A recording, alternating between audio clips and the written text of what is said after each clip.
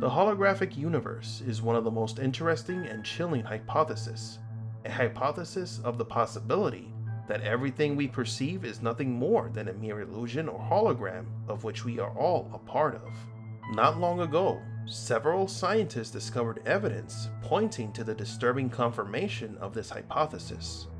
Today, we're going to take a look at the holographic universe.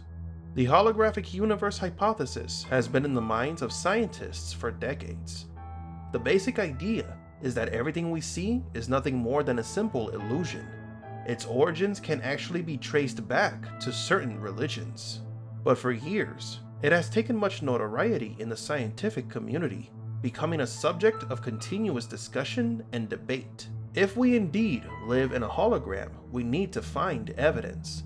And a team of scientists from the UK, led by Professor Kostas Skenderis, have claimed to have found such evidence. Not long ago, the group's scientific research was officially published.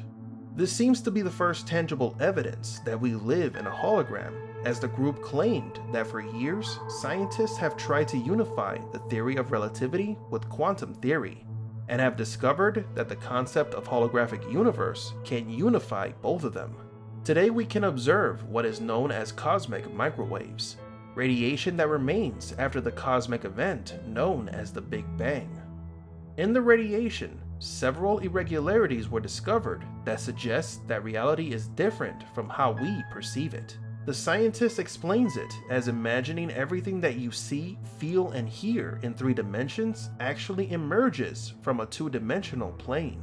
This idea is similar to typical holograms where a three-dimensional image is formed from a two-dimensional surface, like holographic playing cards. According to the scientists, reality could be no more than a mere illusion which we perceive in three dimensions.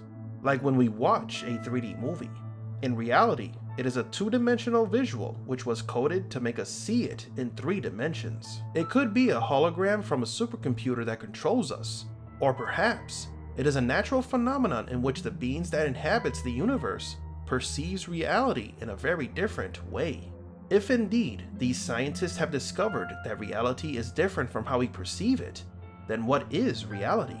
Why are we developed to perceive it incorrectly?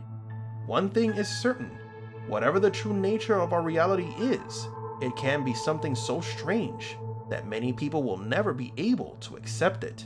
Hypothetically, in the case that it is discovered that nature is nothing more than a simple hologram projected by a computer, the revelation would be disastrous for humans. Not only would it confirm the falsity of all existing religions, but also the humans who believe that they are the center of the universe that their existence has no meaning. Tell me what you think about this topic.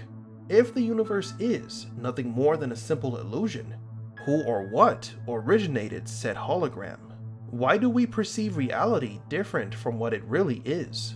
What would happen to human society if scientists confirms this hypothesis? Thank you all for watching, and don't forget to like and subscribe.